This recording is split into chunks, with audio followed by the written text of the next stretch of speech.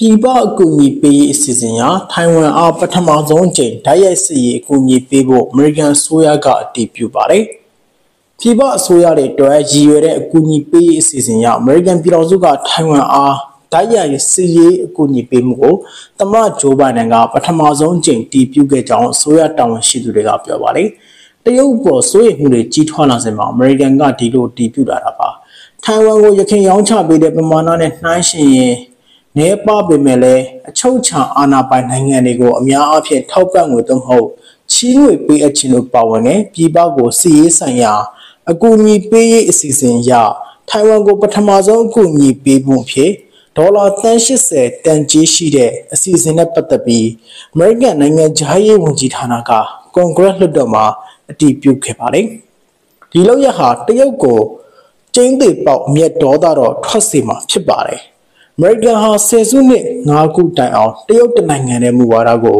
တရားဝင်အသိအမှတ်ပြုခဲ့ပေမဲ့ထိုင်ဝမ်ဆက်ဆံရေးအဥပဒေအရပြဋ္ဌာန်းချက်အရထိုင်ဝမ်ရဲ့မိမိကိုယ်ကိုကာကွယ်ရေးအတွက်စစ်လက်နက်များထောက်ပံ့ခွင့်ရှိပါတယ်။အမေရိကန်သမ္မတဆက်ဆက်ဟာထိုင်ဝမ်အားဓာတ်ရိုက်ကူညီပေးခြင်းနဲ့စစ်လက်နက်ပစ္စည်းရောင်းချခြင်းကိုသာပြုလုပ်ခဲ့ပါတယ်။ဒီအစီအစဉ်နဲ့ပထမဆုံးအကြိမ်အကူအညီပေးခြင်းသည်ထိုင်ဝမ်နိုင်ငံရဲ့ အချုပ်ချာအာဏာကိုအတိအမှတ်ပြုခြင်းတော့မဟုတ်ဘူးလို့ American နိုင်ငံခြားရေးဝန်ကြီးဌာနကအခိုင်အမာပြောဆိုထားပါတယ်။ American ဟာဒေသတွင်းနဲ့ကမ္ဘာလုံးဆိုင်ရာလုံခြုံမှုကြွယ်ဝချမ်းသာမှုတို့အတွက်အလွန်အရေးပါတဲ့ထိုင်ဝမ်ရေလက်ကြားဒေသတည်ငြိမ်ရေးအတွက်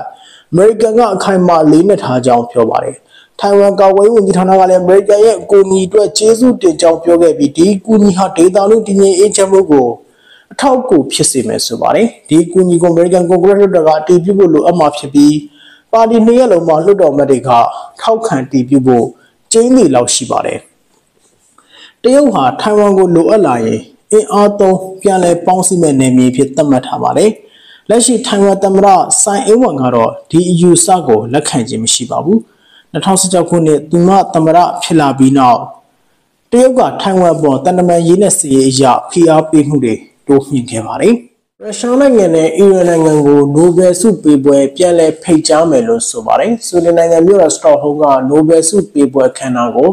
အီရန်ရုရှားနဲ့ဘယ်လာရုစ်တို့ကိုပြန်လည်ဖိတ်ကြားလိုက်ပါတယ်။ Nobel Foundation ကပြီးခဲ့တဲ့နှစ်ကရုရှားနဲ့ဘယ်လာရုစ်နိုင်ငံတရမန်တွေကိုရုရှားရဲ့ယူကရိန်းကျူးကျော်မှုနဲ့ပတ်သက်ပြီးဖိတ်ကြားခဲ့ခြင်းမရှိပါဘူး။ဘယ်လာရုစ်ကရုရှားရဲ့အထက်ကမဟာမိတ်ဖြစ်ပြီးယူကရိန်းကျူးကျော်မှုနဲ့ပတ်သက်ပြီးရုရှားရဲ့အထူးစစ်စင်ရေးကိုကြောထောက်နောက်ခံပေးနေတာဖြစ်ပါတယ်။ အီရန်ကိုလည်းမနစ်ကဖိတ်ကြားခဲ့ခြင်းမရှိပါဘူး။တီဟီရန်ကဆန္ဒပြပွဲတွေကိုဖြိုခွင်းရမှာ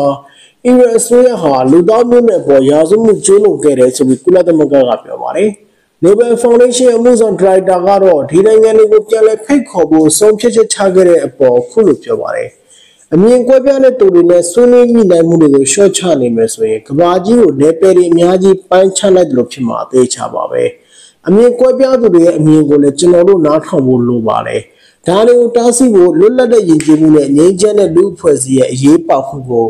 မိမောင်းဖိုးပြနေတဲ့ Nobel ဆုရဲ့တန်ဖိုးကိုနားလည်သဘောပေါက်ဖို့ကျွန်တော်တို့ကဖိတ်ခေါ်လိုက်တာပါလို့ဆိုပါတယ်။ Nobel ဆုပေးပွဲ6ခုနဲ့5ခုကို Stockholm မှာကျင်းပလို့ရှိပြီး Nobel ငြိမ်းချမ်းရေးဆုကိုတော့နော်ဝေနိုင်ငံမြို့တော် Oslo မှာချီးမြှင့်မှာဖြစ်ပါတယ်။လက်ရှိအချိန်ရုရှားနဲ့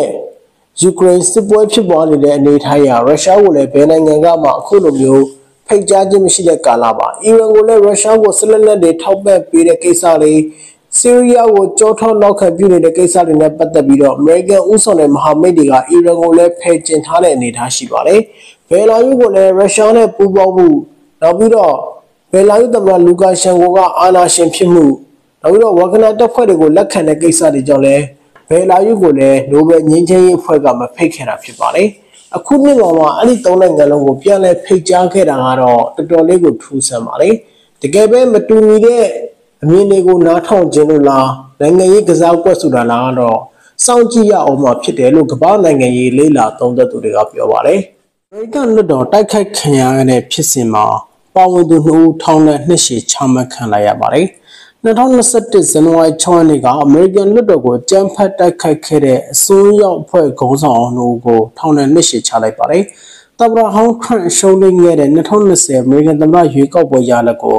လွှတ်တော်ကနေတရားဝင်အတည်မပြုနိုင်အောင်လွှတ်တော်ထဲထိဝင်ရောက်တိုက်ခိုက်ခဲ့တဲ့ Proud Boy ဆိုတဲ့လက်ရစွန်းခေါင်းဆောင်မှုကိုထောင်ဒဏ်18နှစ်နဲ့15နှစ်စီချမှတ်လိုက်ပါတယ်။ ဒါအပြင်ရွေးကောက်ပွဲမှာနိုင်ငံရဲ့ဂျိုးဘိုင်ဒန်ဟာသမ္မတအာဏာလွှဲယူနိုင်ဖို့အတွက်ရွေးကောက်ပွဲရလဒ်တရားဝင်တည်ပြုတဲ့2021ဇန်နဝါရီ6ရက်နေ့ကလွှတ်တော်အစည်းအဝေးကိုဝင်ဖြတ်ဖို့လွှတ်တော်ရဲ့ဒီဝင်တိုက်ခိုက်မှုကိုဦးဆောင်တဲ့ဂျိုးဆက်ဘစ်ကို1019နဲ့ဇာခရီရက်ကို1015နဲ့တည်တည်ချလိုက်ပါတယ်။ခုလိုထောင်ဒဏ်နှစ်ရှည်ချတာဟာဇန်နဝါရီ6လွှတ်တော်ကိုအကြမ်းဖက်တိုက်ခိုက်မှုပြီး Proud Boy အစွန်းရောက်အဖွဲ့ပေါ် American ခရိုင်အစ်စ်တရားရုံးက ပထမဆုံးချမှတ်တာဖြစ်ပြီးဒီအမှုတွေထဲမှာပြစ်ဒဏ်အကြဆုံးထောင်ဒဏ်လည်းဖြစ်ပါတယ်။အခုအမိန့်ချမှတ်ပေးခဲ့တဲ့ခရိုင်တရားသူကြီးတင်မော်ဒီကယ်လီအနေနဲ့နောက်ထပ်ဒီ Proud Boy အစွန်းရောက်အဖွဲ့ဝင်၃ကိုလည်းအလားတူစီရင်ပြီးထပ်အမိန့်ချဖို့ရှိနေပါတယ်။အဲ့ဒီအစိုးရအဖွဲ့ဝင်၃ဦးကိုတော့ဝါရှင်တန်မြို့တော်မှာလေးလကြာခုံရုံးတင်စစ်ဆေးခဲ့ပြီးဒီနှစ်မေလမှာအပြစ်ရှိကြောင်းဂျူရီခုံလူကြီးကအမိန့်ချထားပြီးဖြစ်ပါတယ်။ ဒီတဲကဒီလက်ရအစိုးရအဖွဲ့ဝင်တွေအနေနဲ့သမ္မတဟောင်းထရန့်က2020သမ္မတရွေးကောက်ပွဲမှာမဲလိန်ခံခဲ့ရတယ်လို့လိန်ညာတာကိုမျက်စိမှိတ်ယုံကြည်လက်ခံပြီးအခုလိုလုပ်ခဲ့တာလို့တရားရုံးကအဆုံးဖြတ်ပေးခဲ့တာဖြစ်ပါတယ်။သမ္မတဟောင်းတော်နဲ့ထရန့်လည်းဒီမှုဖြစ်စဉ်တွေနဲ့ပတ်သက်ပြီးတော့ရုံးတင်စစ်ဆေးခံရတာဖြစ်ပါတယ်။သမ္မတဟောင်းဒေါ်နယ်ထရန့်ကတော့သူလုပ်ခဲ့တဲ့လုပ်ရတွေဟာအမှန်တရားအတွက်လုပ်ခဲ့တာဆိုပြီးပြောပါတယ်။ဒါအပြင်သမ္မတဟောင်းဒေါ်နယ်ထရန့်ကိုရဲတပ်ဖွဲ့ကနေပြီးတော့ ရဲမှတ်တမ်းအရဓာတ်ပုံရိုက်ယူထားတာလည်းဖြစ်ပါတယ်။ဒီအခြေအနေနဲ့ပတ်သက်နေတဲ့တော့မှသမ္မတဟောင်းဒေါ်နယ်ထရန့်ဟာ2024ရွေးကောက်ပွဲမှာ Republican ရဲ့ကိုစားပြုသမ္မတလောင်းဖြစ်ရေးပန်းစားနေတာဖြစ်ပါတယ်။ဖာဆိုအာနာသိန်းစစ်ကောင်ဆောင်ကိုရုရှားကာကွယ်ရေးတိုးဝင်ကြီးကတွားတွေ့တယ်လို့သိရပါတယ်။ရုရှားကာကွယ်ရေးတိုးဝင်ကြီးဗိုလ်ချုပ်ကြီး ယူကီရိုဦးဆောင်တဲ့စစ်ဘက်ကိုယ်စားလှယ်ဖွဲ့ဟာဩဂုတ်31ရက်နေ့မှာပါကီနာဖာဆိုနိုင်ငံကိုရောက်ရှိပြီးအာနာသိန်းစစ်ကောင်ဆောင်အီဗရာဟင်ထရာအိုရီကိုတွေ့ဆုံနှုတ်ဆက်ခဲ့တယ်လို့ပါကီနာဖာဆိုသမ္မတရုံးကသတင်းထုတ်ပြန်ပါတယ်။စိတ်ပီတာစပတ်မှာကျင်းပသွားတဲ့ရုရှားအာဖရိကထိပ်သီးဆွေးနွေးပွဲမှာနှစ်နိုင်ငံသမ္မတတွေဆွေးနွေးနေတာကိုဆက်လက်အကောင့်ထဲဖော်နိုင်ရေးလာရောက်ဆွေးနွေးတာဆိုပါတယ်စင်မီတာစပလက်ဆွေးနွေးပွဲမှာ လက်ရှိပါကီနာဖာဆိုအာနာသိန်းကောင်းဆောင်ယာယီသမ္မတအီဗရာဟမ်ထရာအိုရီကပါကီနာဖာဆိုစစ်တပ်ကိုစစ်ရေးလေ့ကျင့်ပေးဖို့စစ်လက်နက်တွေကူညီပေးဖို့နဲ့နျူကလ িয়ার စွမ်းရည်စက်ရုံတည်ဆောက်ပေးဖို့ဗလာဒီမာပူတင်ကိုတောင်းဆိုခဲ့တာဖြစ်ပါတယ်ရုရှားကဝေဒူဝင်ကြီးရဲ့ခီးမှာအဲ့ဒီဆိုပြုချက်တွေကိုသဘောတူကောင်းထည့်ဖို့ရှိမရှိဆိုတာကိုတော့သတင်းထုတ်ပြန်ချက်မှာဖော်ပြမထားပါဘူး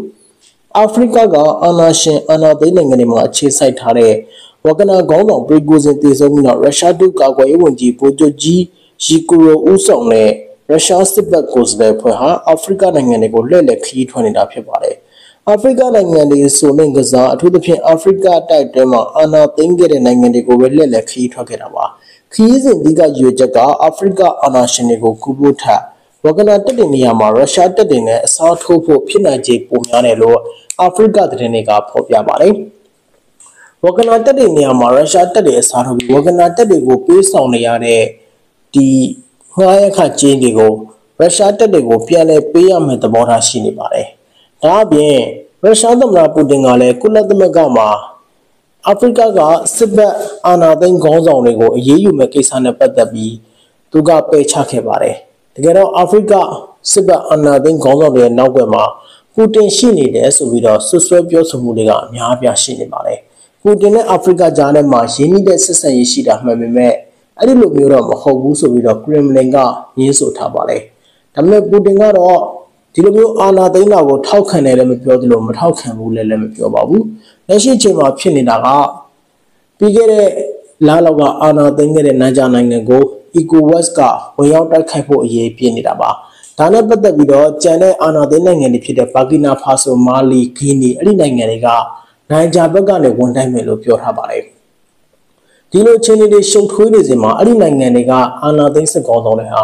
သမ္မတပူတင်ကိုတွားတွေ့တဲ့အထောက်ထားတွေရရှိခဲ့တယ်ဆိုပြီးအမေရိကန်ကတော့ပြောထားပါတယ်။ ECOWAS ကနိုင်ဂျာကိုနေအေးယူမယ်ညအေးယူမယ်အချိန်ဆွဲနေတဲ့ကြမှာပဲ